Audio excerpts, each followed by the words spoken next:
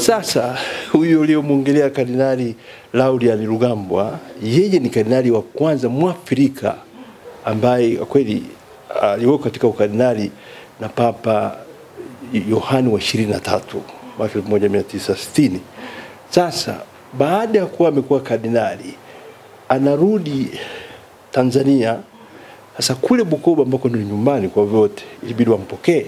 Sasa mmojawapo wa watu ambao alibidi wampokee ni mjomba wangu ambaye ameshafariki, balozi uh, Andrew Tibandebage. Sasa Andrew Tibandebage alikuwa ni rafiki yake sana na Lauriani Kardinal Rugambwa. Sasa siku hiyo alikuwa na anamsubiri mama nitoe tumboni na wanasema mimi nimekaa tumboni mwa mama yangu zaidi ya miezi kumi na moja. Sasa wana biolojia na kitu kingine wanaweza kasema vya kwao, lakini nasema ni kweli kabisa, kwa sababu nilipotoka nasema chakuwa na, na, na, na ngozi ya ajabu ajabu.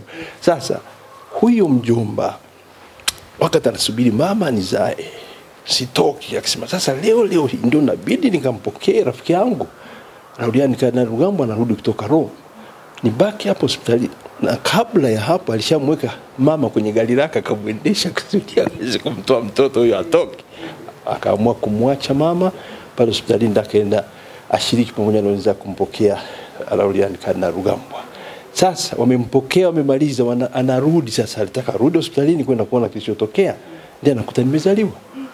Hasa sema huyu mtoto kwa kweli ni baraka za Rugambwa yeah na ni kwa sababu hiyo napenda tumwite jina lake la kwanza kabisa Rugambwa, na naliheshimu sana hilo jina, ndio maana hata saizi watu wanashanga mbona Protasi Rugambwa, lakini basi ni jina ambalo tunaliheshimu sana.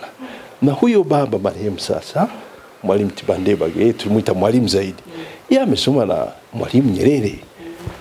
Na amefundisha pamoja na Mwalimu Nyerere hapa, na nyumba yake iko hapa alipokuwa anaishi mzee Tibandebage na alimkaribisha Mwalimu Nyerere aje kukaa kwenye nyumba hiyo, wakati baba anaweza kaeleza yapo Tabora, mimi asielezi lakini ndio hivyo. Kumbe akasema huyu mtoto kwa kweli, kwa baraka za Rugambwa ningelimwombea na nataka awe padre, na kweli mjomba kabla hajafariki hakuniacha tu nimekuwa padri, na alifurahi sana nilipokuwa padri, bali aliniacha nimesha, alifariki nimeshakuwa askofu. Sasa siku moja akawa anatuchekesha kwenye mazishi ya baba yangu mzee Prosper Holana. Yeye alikuja akitokea Arusha, mzee Tibandebage huyo alikuwa kwenye wheelchair tayari, lakini akasema lazima nikamzike mdogo wangu, yani baba yetu sisi Prosper. Amekuja baada ya mazishi, tunamalizia malizia mambo ya matanga, baada katuita wote ndugu jamaa na marafiki, basi na mimi alikuwa ananiita mtoto bishop ndio jina lake hilo, mtoto bishop Rugambwa, njoo hapa, nikakaa pale lakini kwa nimetokea Roma wakati ule nafanya kazi Roma. Unajua kwa, no, nilikuwa Kigoma nafikiri nilikuwa Kigoma wakati ule. Nilikuwa Kigoma. Una, una, mnajua nyinyi kilichotokea kwa huyu mtoto wangu? Basi ndio akasema hawajui. Ndio akawasimulia sasa hiyo historia yote niliyoisema.